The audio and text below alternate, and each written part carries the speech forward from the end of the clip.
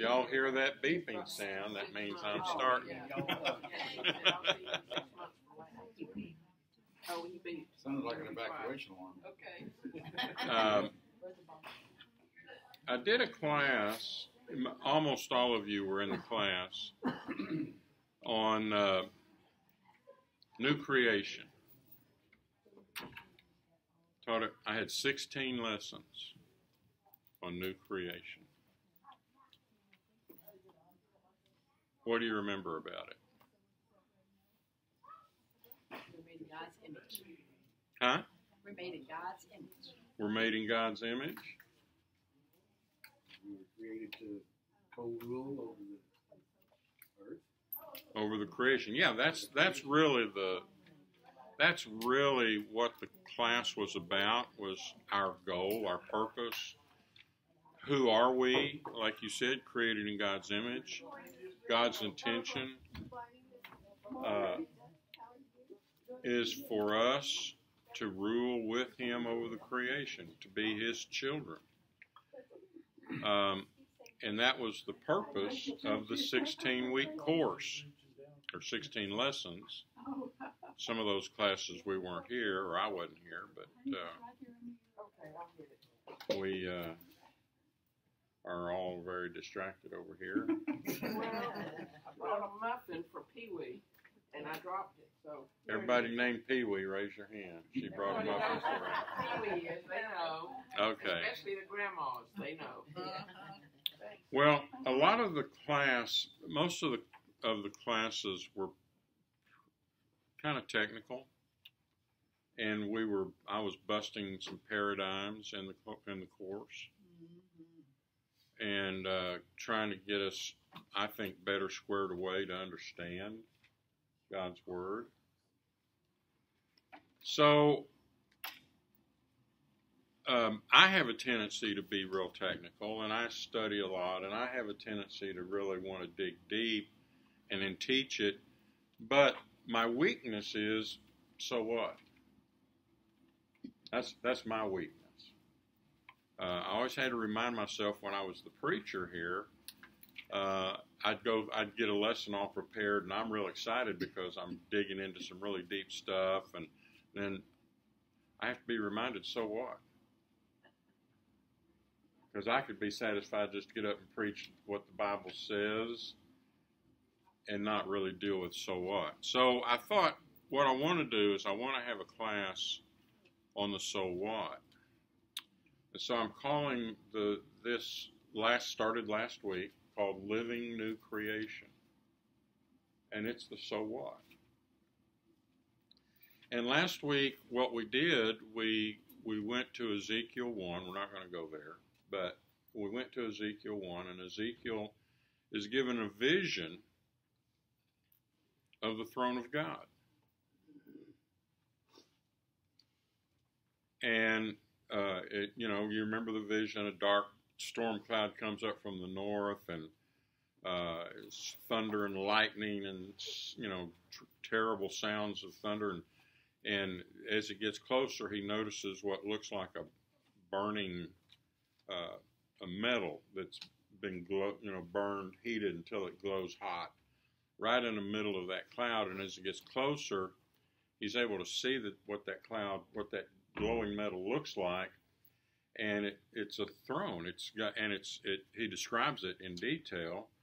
Uh, these four living creatures, all of them, each one has a little bit of a different image, and their their hooves, their legs with their hooves come down to the ground with a wheel attached. So there's four wheels, and they've got wings, and they're holding up. They're they're touching wings. The four of them, you got one on each corner. They're touching wings, and above them is a pane of, of crystal. And on the crystal is a golden throne. And on the throne is we're looking at God. And he says, It's a man. Now, I covered that to try to help us understand what God is doing with us. Okay, we learned in the last uh, class no, not the the last uh, lessons subject, new creation. Like you said, we learned that God is bringing us to a new creation, and us with new, uh, recreated bodies. I say recreated because we get bodies like Jesus. Jesus didn't get a brand new body; he got a, a remade body that was better. And we're going to get one just like it. And we're going to we're going to sit down on thrones, and in a sense, we've already sat down on thrones. We'll see that today, and we co-rule with God over the new creation that's also resurrected. That was God's intention in the in the beginning.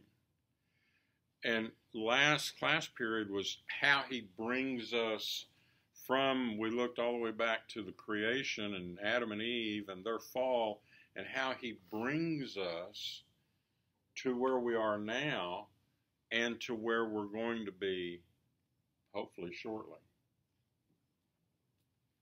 And so this class period uh, I'm going to I'm going to uh, hit some of those points again because where I want to go, I've got to remind us some of what we've studied. We uh, we so we were created to rule, and uh, He created Adam and Eve and told them to rule over the creation.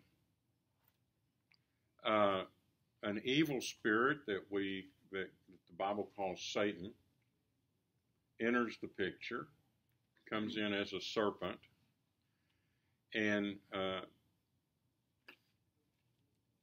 tells Adam and Eve a lie. Lies to them about who God is and God's intentions, and Eve believes it. Adam, it, it appears to me from the text that Adam is with her when this happens. Uh, it's just an, a hint from the text it says that uh, she went ahead and took of the, the fruit of the tree of knowledge of good and evil. It says, and gave it to her husband who was who was with her. She and that was the point. She the, the fruit was attractive. She kind of I guess was tempted a little bit, but here comes the serpent. He said, Well, why don't you go ahead and eat it? She said, Well, God's told us not to because and he said, Ah, God's not telling you the truth. So she took it, and then it says she gave it to her husband who was with her.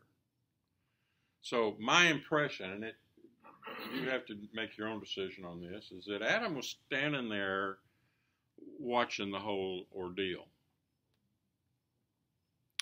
And I think this is why uh, God holds Adam to be more guilty than the woman.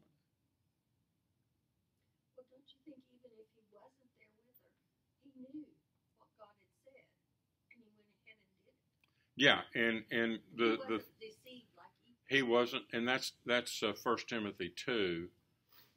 Uh, yeah, two, the end of the chapter.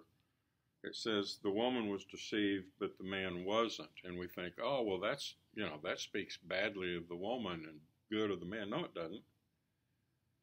That means that she, when she ate of the fruit, she thought that it was the right thing to do when Adam did, he knew he wasn't doing the right thing. So that that speaks, I think, more uh,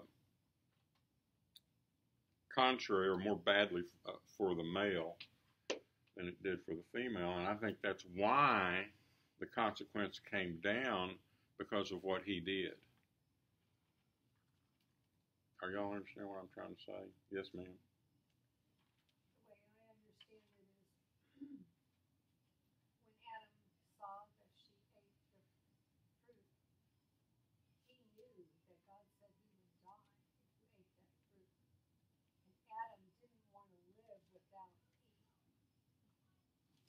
Okay.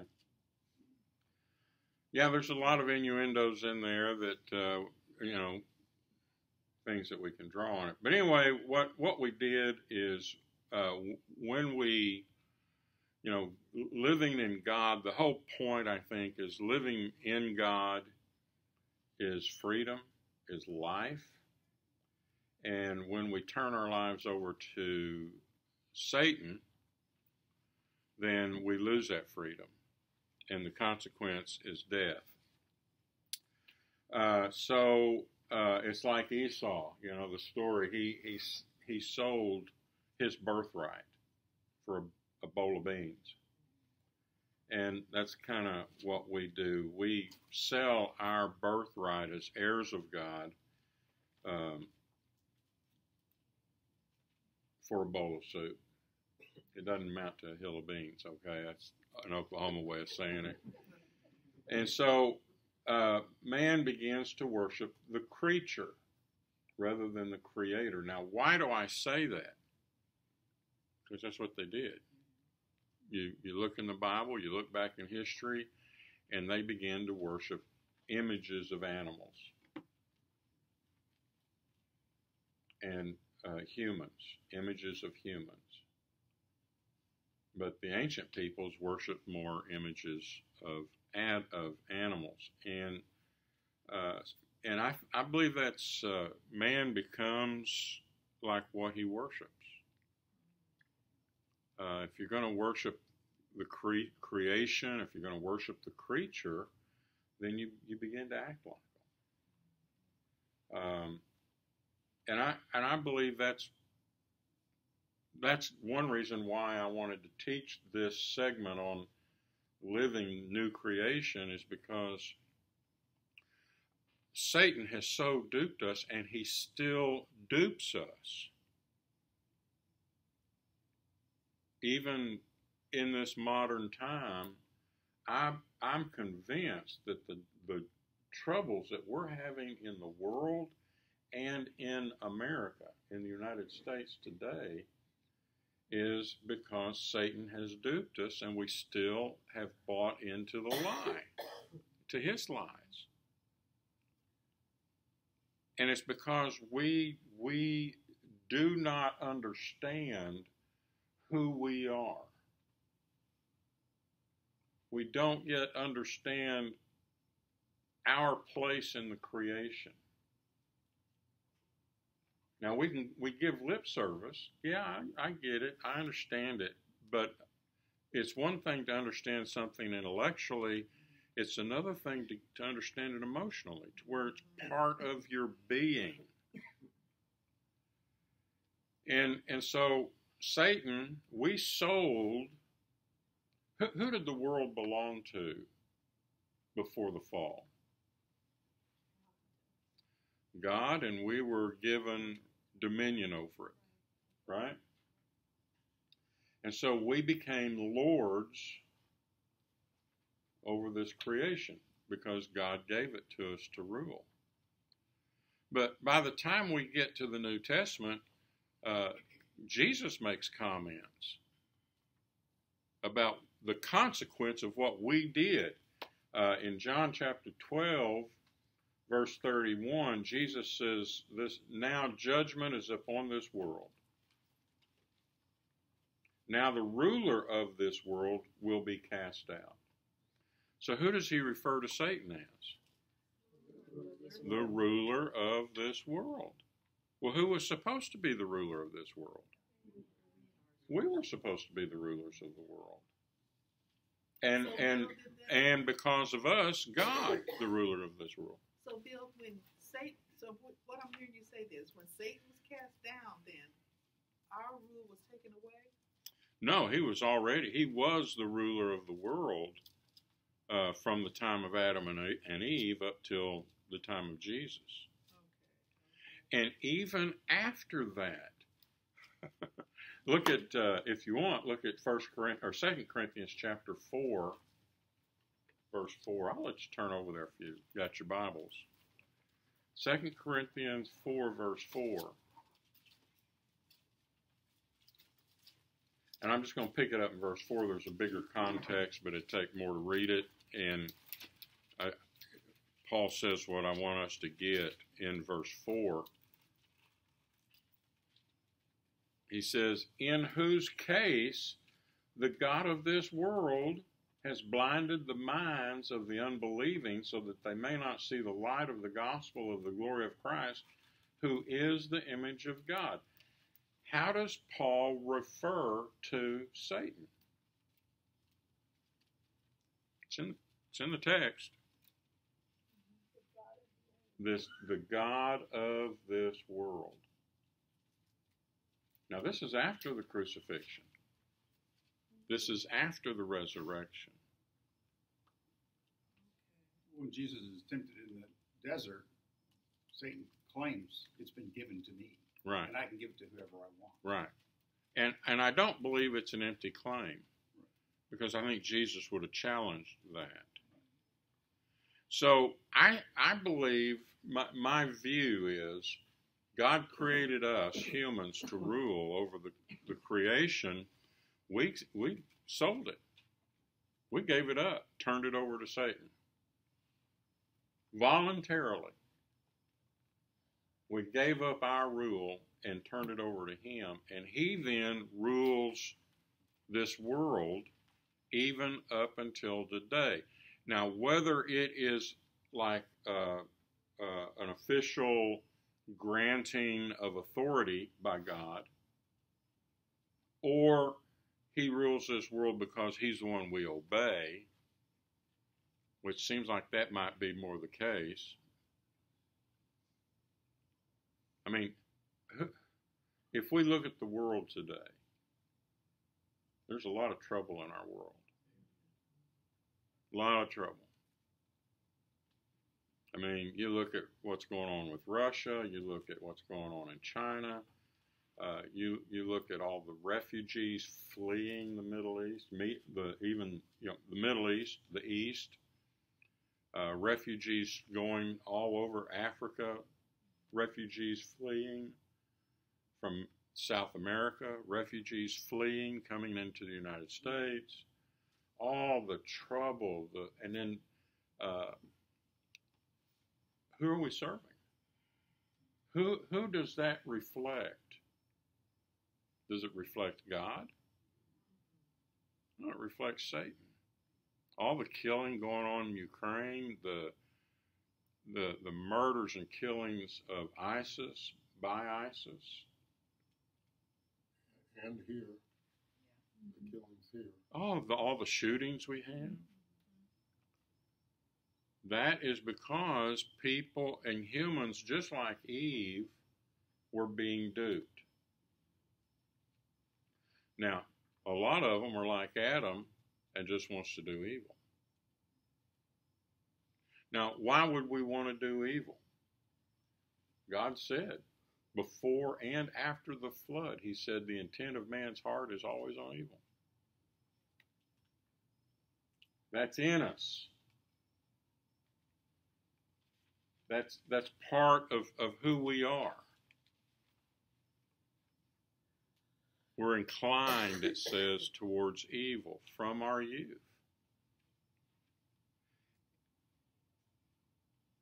And so, what needs to happen? New creation. Our inclination towards evil is part of the old creation. We've talked about this in the previous course on, you know, from uh, Romans 7, where Paul talks about the propensity to sin is in the flesh, is in our bodies. And his last cry in that text is, uh, Who will set me free from the body of this death? And so Satan capitalizes on that. And he appeals to it and draws us to rebel against our Creator. And so when we when we when we serve evil, we're we're serving Satan. We're putting him on the throne. Our our Lord is who we serve. We're either serving Satan or we're serving Jesus.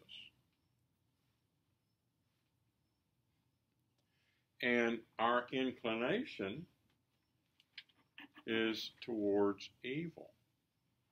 And so we, and I believe one of the reasons why God gave us the law of the Old Testament was to show us that we don't have the ability to live the way we're supposed to live. Man's inclination was towards what? Sin. If man's inclination was towards the law of God, that's what God. So, God does bring us, and this was part of the previous course where I talked about the giving of the Holy Spirit, and the Holy Spirit then begins to rebirth who we are or our inclination. So that our inclination then becomes to serve God rather than to serve sin.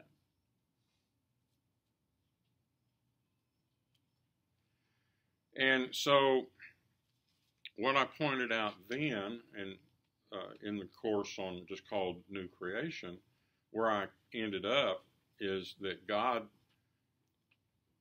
wants us to come over here to being who He wanted us to be originally to rule over creation. We gave it up. We sinned. We rebelled against God, turned the world that was supposed to be ours, turned it over to the rule of Satan. And so God begins the process of bringing us along so that eventually he will make a covenant through Jesus, through the man Jesus. And in order for a covenant to be in effect, what has to happen? The death of the covenant maker, according to Hebrews chapter 9. And so, uh, if Jesus had not died on the cross, we couldn't have a covenant. And the glory of the covenant now is we have the forgiveness of our sins. We ha- and I like the word amnesty. Have y'all noticed that I use the word amnesty? What does amnesty mean to you?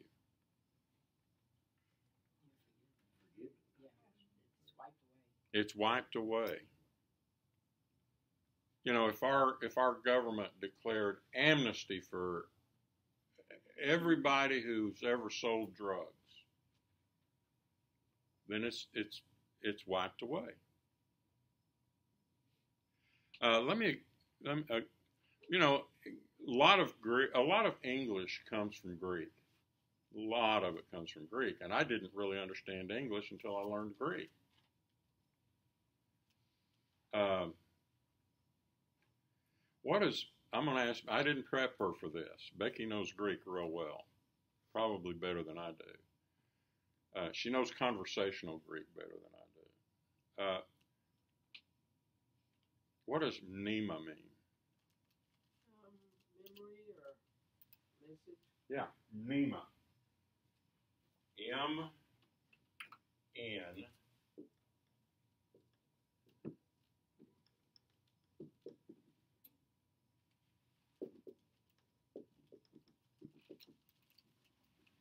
means to remember, memory or remember something. In Greek, when you put an A in front of a word, it negates it. Do you recognize the word there?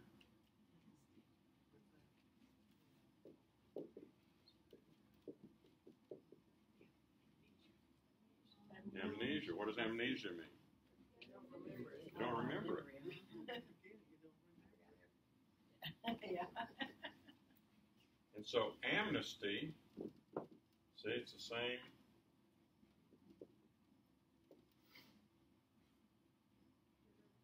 Is that right? Amnesty. It, they're the same. Amnesty means it's not remembered anymore. And so that's why I have gotten to where we, we get, we're, we're churchy folks. We've got our own vocabulary and we hear it for so much and so many years that it ceases to have, I think, real meaning to us. If I said, we've got the forgiveness of our sins, we're all going, yeah, right, great, but you really aren't taking that in.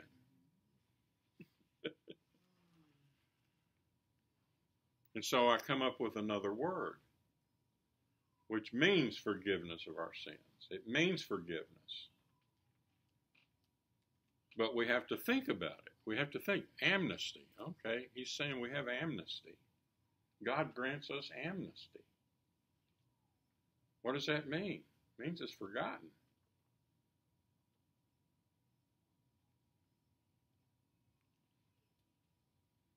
When it comes to our sins, amnesia happens.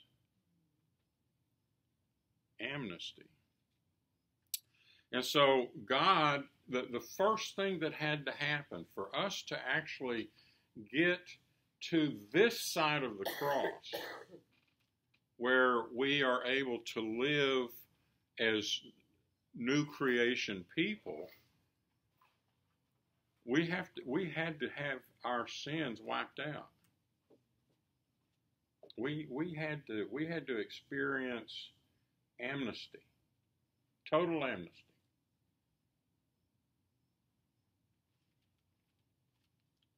Because if we don't, then we carry that guilt. And that guilt prevents us from really being who from really being new created people, new creation.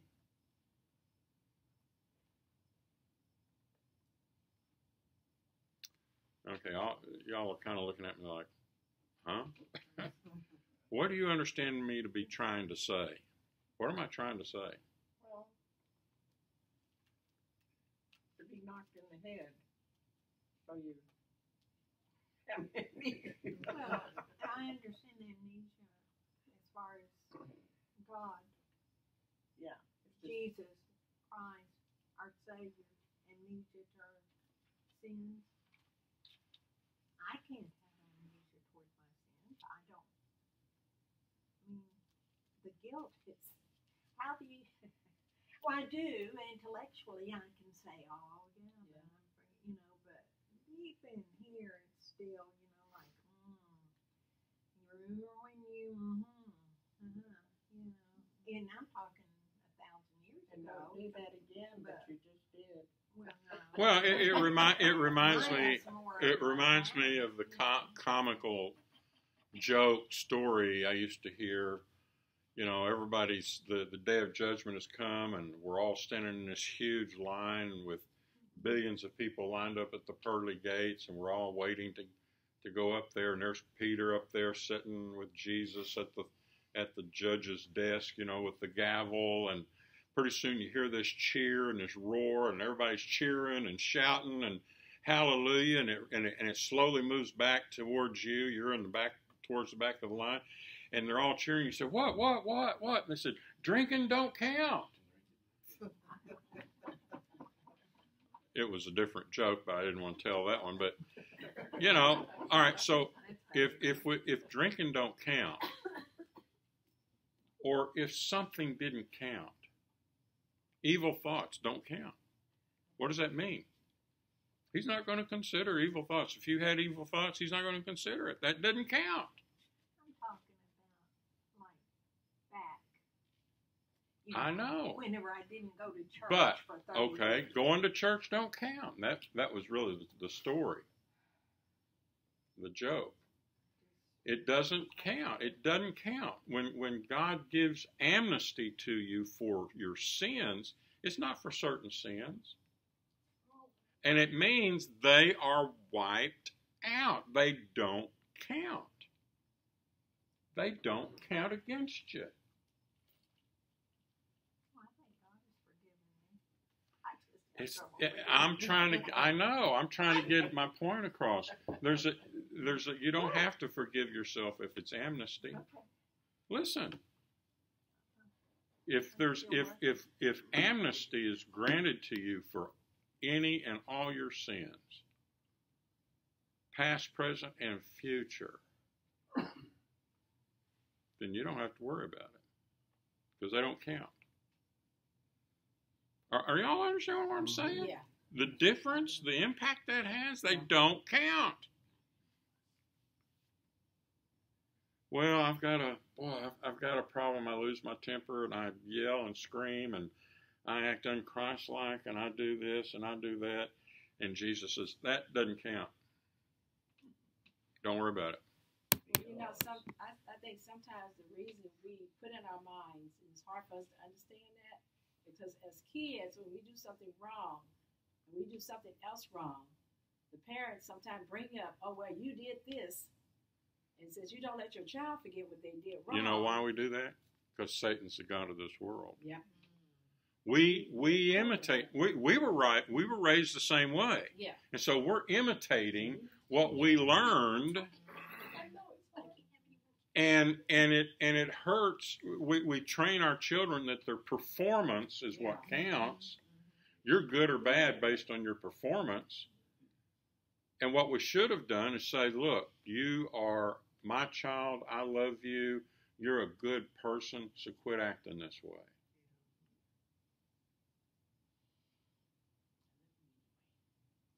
You follow me? Yeah. And, and so what we've done is we've grown up with what I've heard called the performance trap. And we all suffer with the performance trap. And so that's where we think that our value is built in our performance. Our performance determines our value. Do we value somebody that has a, a super good job and earns a lot of money more than we do a person pushing a cart around on the street? Why? That's Satan. That's his work. That person earning billions of dollars, and there are some billionaires, is not worth more than that guy pushing the cart on the street, bumming for a dollar. He's not worth more. But because we have fallen into Satan's trap, the performance trap, we think he is worth more. Are y'all? Yep. And, and this is why I want to go over it, is because I, I think that we uh, have a tendency to uh, to fall into this snare,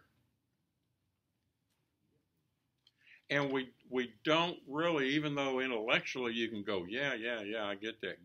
A man, God is like a man sitting on a throne. He's one of us. Yeah, Jesus, Jesus is God. Jesus is a man, is God who became a man. Know, that's wonderful, but we don't get it. And we buy into this idea that God is angry with us and that He's built this huge gulf between our sins have created this huge gulf, and God can't span that we can't span the gulf because we're guilty and we deserve to die, and God is going to kill us unless we unless He can kill Jesus in our place, and baloney, baloney, baloney. And and we we don't we we know the text like the woman caught in adultery.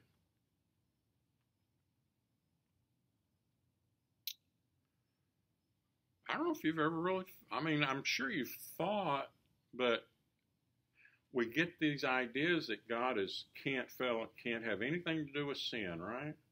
We get that idea. And yet here he is. Here's God talking to this woman caught in adultery.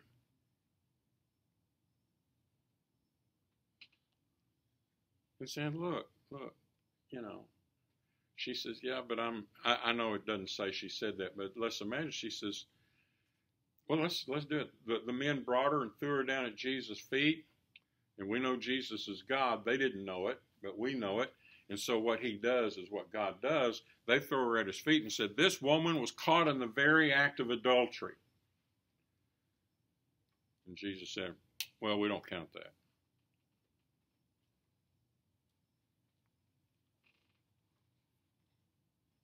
We don't count that. Adulterers have amnesty.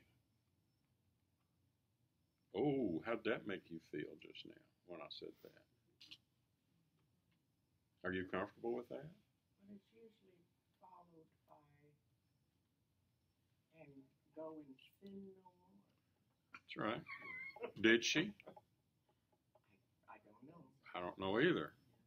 I doubt it if she's a typical human being. If, if she went and sinned no more, she's better than I am. Speak about the man. No, doesn't say anything about the man. Probably was one of the guys standing in the crowd. I don't know. but uh, yeah, are y'all getting the point I'm trying to make? I'm, we're not going to count that. The Apostle Paul says, What I would do, I do not. That's right. So Bill, so we'll never get over this, I mean, until we die because sinning and stuff, because uh, I do something that happens to you and I when somebody cuts us off and we say something to that guy. Well, just because we said our sins are, what we just said, our sins are forgiven. But why do we keep doing? We keep doing it every time. Well, it's and, and I believe that we we may never, uh, probably never overcome all sins, but the Holy Spirit, if we if we give ourselves to the activity of the Holy Spirit in our lives, then we do begin to overcome things like that. If I have found for myself that if I focus on a sin issue that I have, and I commit myself to bringing it before God every time I do it,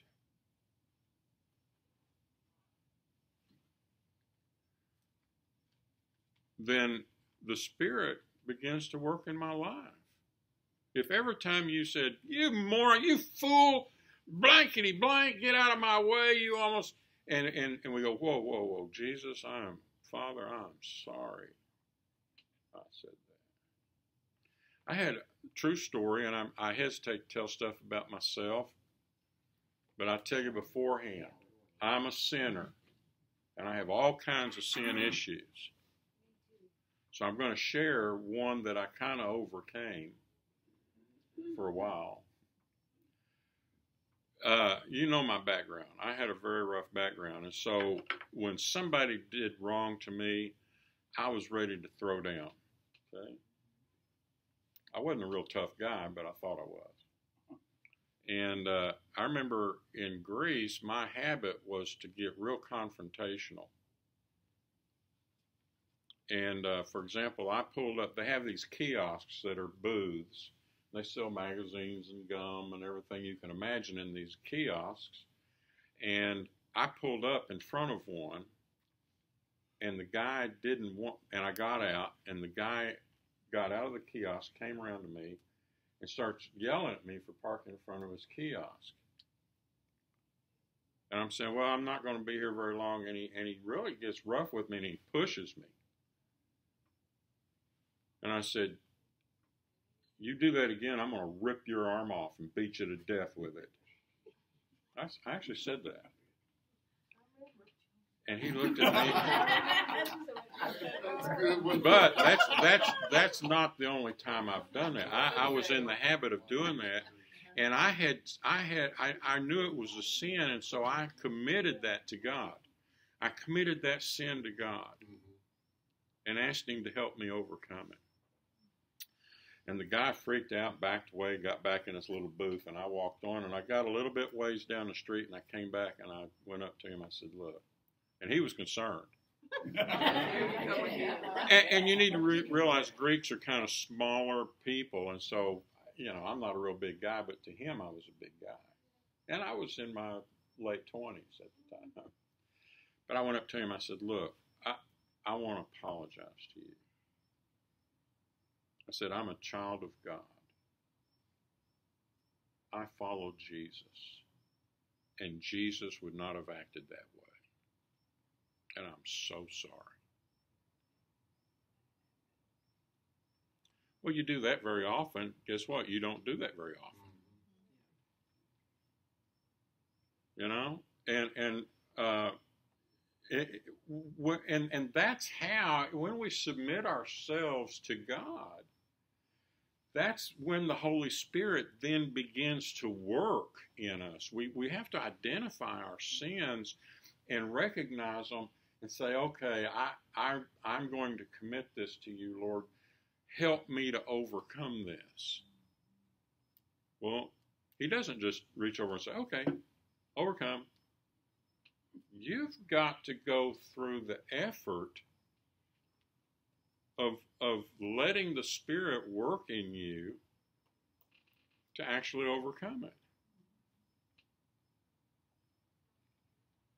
I, you know, driving the car, if every time I called somebody a fool or a moron, and I caught myself, if I chased that person down in the car and went up and said, Look, I, I'm sorry you cut me off back there. I, I called you a fool and, and I sinned terribly and I'm I'm so sorry, please forgive me. How many times do you think you'd do that? How many times do you think doing that before you actually stopped calling people a fool or a moron? Are, are y'all understand what I'm saying? We correct ourselves and it and I think we have to put we have to go to the effort of correcting ourselves in front of people. Because that's what repentance means. You sinned against that person, you've got to, you need to repent to that person. Now, don't take this. Just forget I said anything about that. I don't think it's a good idea to chase them. No, but they're road rage, you know. Right, but that, but I, I, I'm just trying to give an illustration. Yeah. If I've got an issue, if I've got a problem where I'm sinning against other people, or I'm thinking evil, uh, there have been times when I've told a person and apologized to a person and told them, you know, I, I'm sorry, I judged you, uh, I, I thought evil about you and it's not because of you, it's actually because of the evil that's in me, and I'm sorry. Please forgive me. Yes, sir.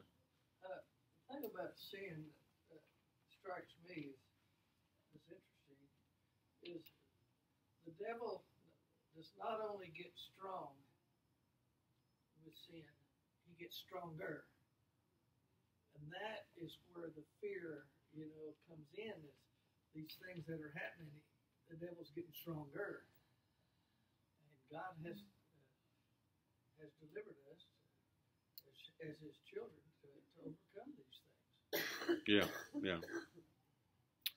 Well, it's it's time for us to end, and let me just remind you this this is where I'm trying to go. I'm trying to say we are in the segment between the cross and resurrection and the final resurrection where we get where we enter into that new created state.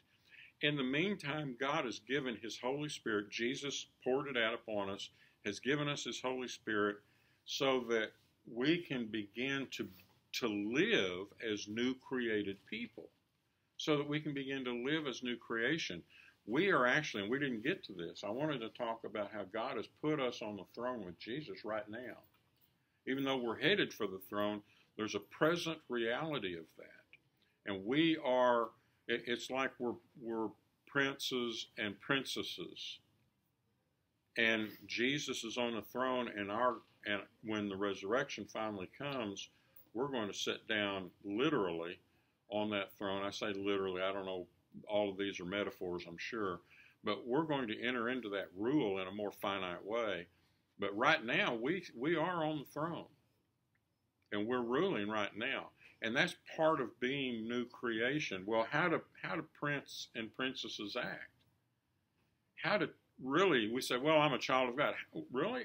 I know you are, but how does a child of God act? Well, how does God act? Well, I don't know. Yeah, you do. Look at Jesus. That's how God acts as a human.